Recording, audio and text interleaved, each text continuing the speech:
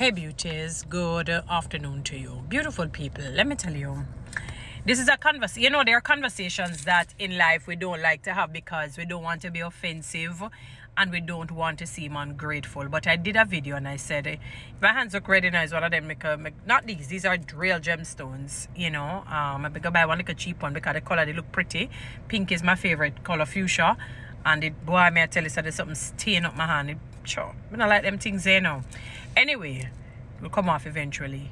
And uh, they don't, people are afraid because they can't, and that is what is crippling the society in a major way. People can't have candid and real conversations that are tough, that are difficult. It's going to be offensive. Being something being offensive doesn't mean it's wrong. Jesus offended a number of the Pharisees and the Sadducees. They didn't like truth and sincerity and just him being genuine.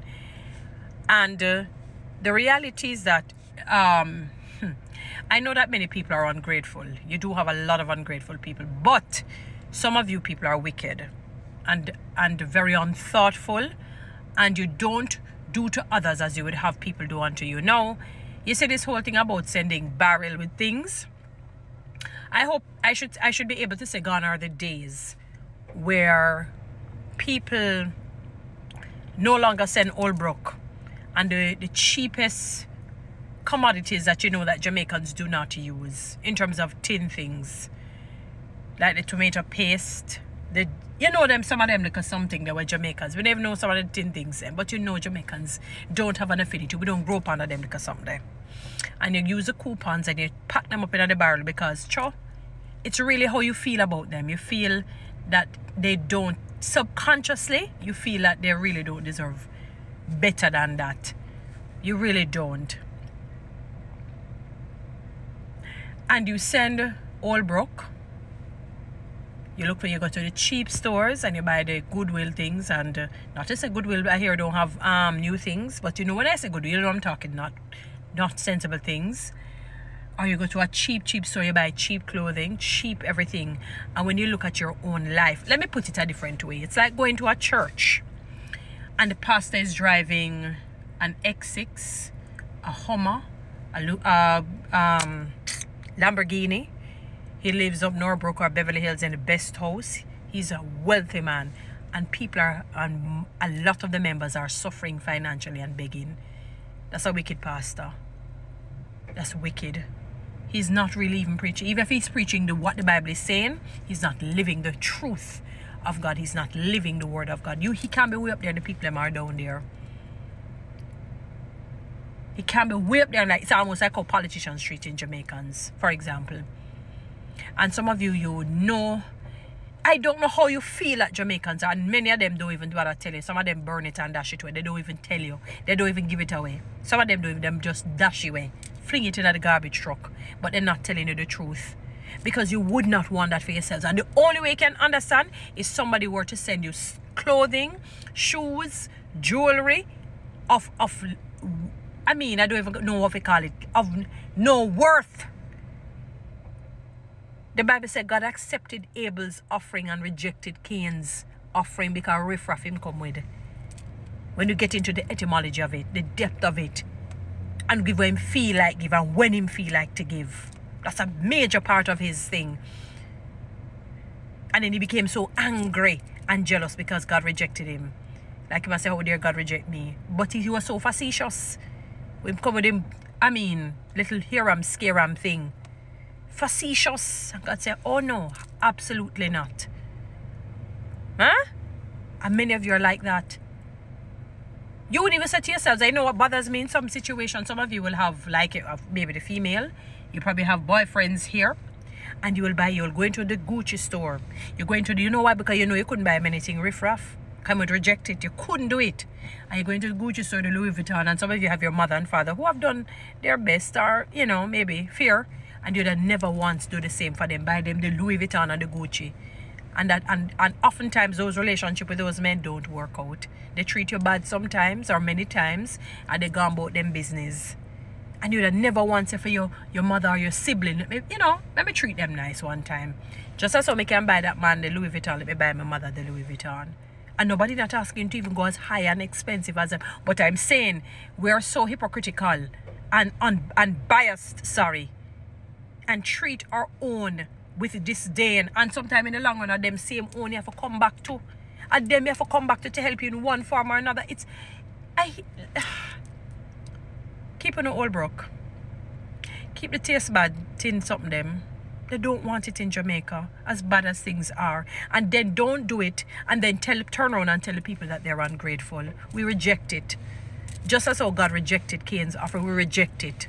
We reject it. It's not right. Because if we were in your position, we would not do that to you. We would not do it. Many of us would not do that to you. We would buy you very good things, treat you with respect. We might not be always, may not have the wherewithal at that present moment to buy the Louis Vuitton and the Gucci, but guarantee you're going to buy something very good.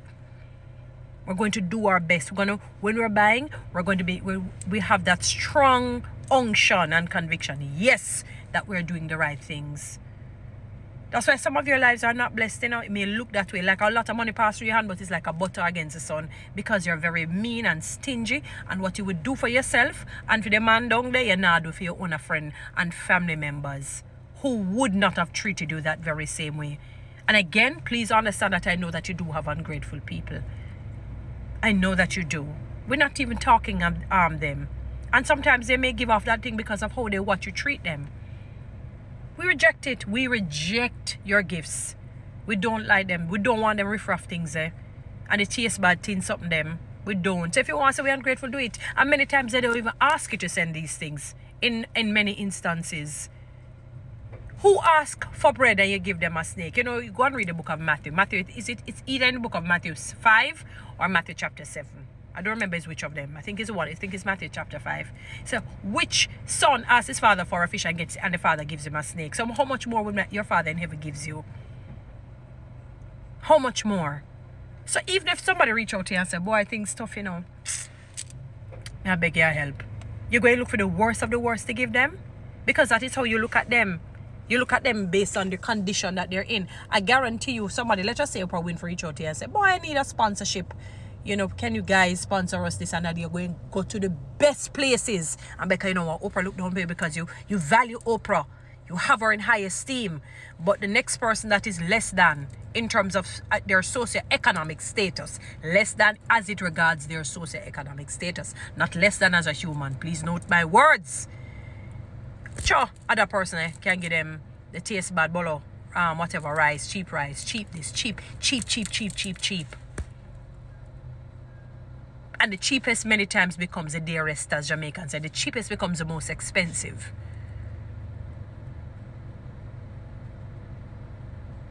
We reject it.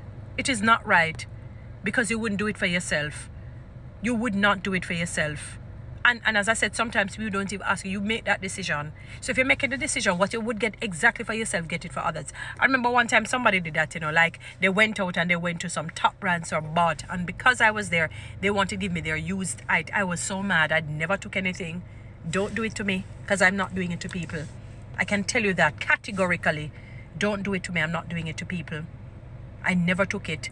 I have a friend who said somebody um gave him some when you look at this stuff awful they were very much disturbed. A lot of churches can tell you stories.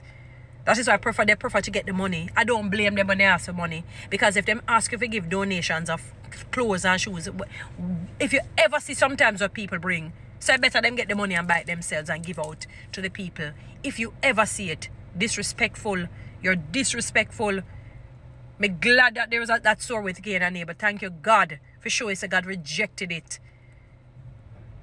You don't follow the part B of that first commandment. Love your neighbor, treat your neighbor the very same way you treat yourselves.